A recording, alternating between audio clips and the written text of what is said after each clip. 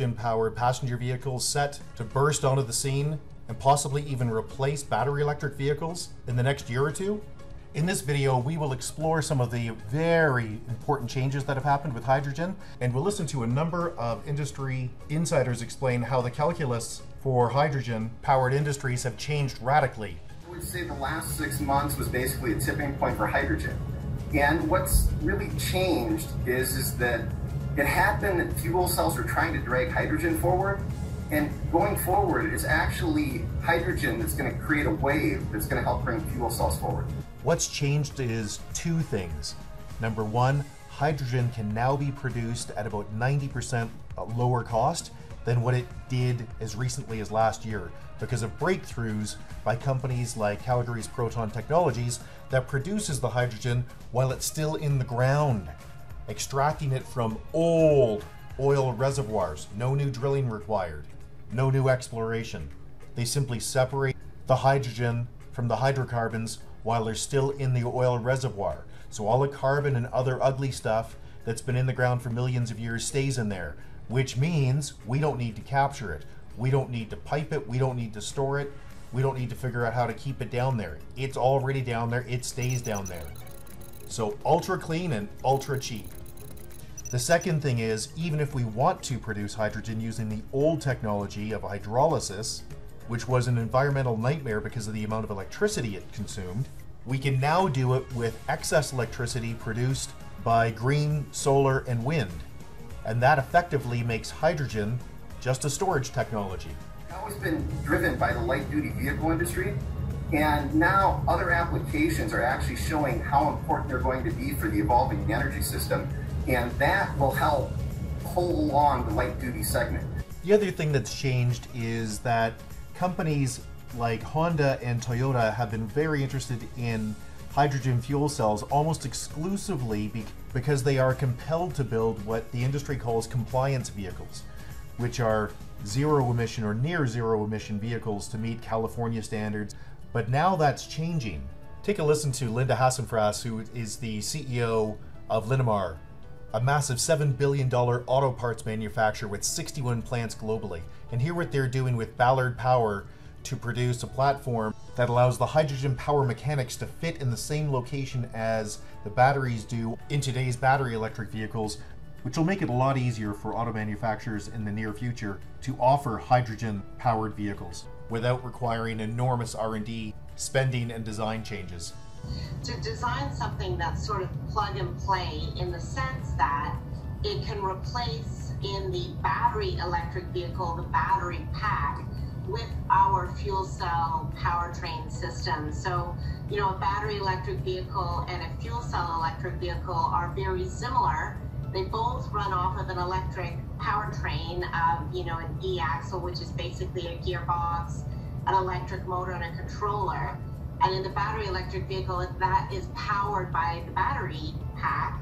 And in a fuel cell uh, system, it electric vehicle is powered by the fuel cell itself. So, uh, you know, being able to sort of package it into, uh, you know, the, the dimensions that could just sort of fit exactly into where the battery pack is would make it easier for our customers to transition from battery electric vehicles to fuel cell electric vehicles we'd like to interject for just a few seconds and ask you to click like, and if you like this type of thing, please click subscribe.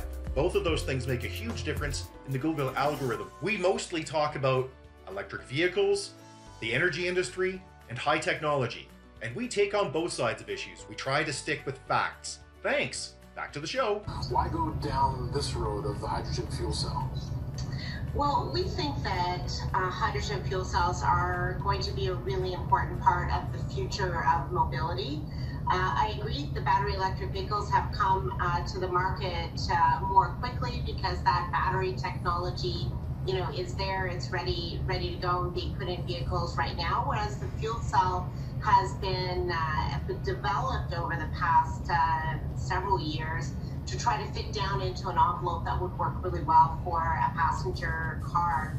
Uh, up till now, the fuel cell uh, technology has been more used in larger uh, vehicles, which you know have a little more space for uh, for the actual system. Now the technology has been able to uh, be, be brought down to the point where it can fit into a passenger uh, vehicle. And it's all connected, and light duty doesn't go without heavy duty and um, industrial uses. But when all of them start to come forward and hydrogen starts to become readily available, one of the biggest challenges for light duty vehicles has been the infrastructure for hydrogen. And we understand better now that the infrastructure is going to exist. And once hydrogen's ubiquitous and um, lower cost, it'll be much easier for the light duty vehicle segment to take advantage of that as well. So it's a really complex equation where a bunch of things are going forward. All right, so a lot has changed. More is changing in the very near future. But really, isn't battery electric really good? And if so, why would we bother to even have a secondary power platform? Let's hear what Linamar says. A few reasons, actually, why I think it's actually better uh, technology than battery electric. One is that it is truly zero emissions because the hydrogen fueled uh, mobility uh, is, is zero emissions from the fuel source right through to the operation of the vehicle because you can make that hydrogen from water using renewable energy. So you're almost running your vehicle on renewable energy, on wind power or solar power that is temporarily being stored in hydrogen. Because when the fuel cell runs, it comes back together with oxygen and makes water again. So it's sort of a temporary uh, storage. So it's truly green. I think that's the, the really important piece. Um, they can be quickly refueled, which I think is really important, particularly for, for uh, commercial uh, vehicles. There's a, a, high energy density of hydrogen. And I think also importantly, fuel cell electric vehicles don't rely on sort of regionally concentrated sources of certain minerals like cobalt, for instance, notably, or lithium, uh, which are largely controlled out of countries like the uh, Congo or China, which we fear may, may create issues down the road. Hydrogen generated electricity is still best used in heavy industry, but as you've heard, hydrogen is now set to move from just city bus experiments to big rigs and high utilization fleet vehicles like taxis and things used in shared mobility. But beyond those uses, hydrogen will also find a comfortable home in a smaller number of cities, states, and even some countries like Iceland and, you know, perhaps California, where real hydrogen fueling infrastructure is already well past the prototype scale. Hydrogen is now ultra cheap, ultra green, and it reduces Western society's dependence, you know, places like the United States, Canada, England, Germany, France, it reduces their dependence on unreliable and often adversarial governments like China and the Congo.